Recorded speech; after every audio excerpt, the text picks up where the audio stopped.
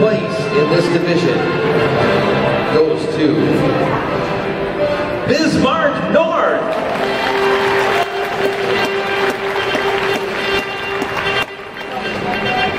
Second place goes to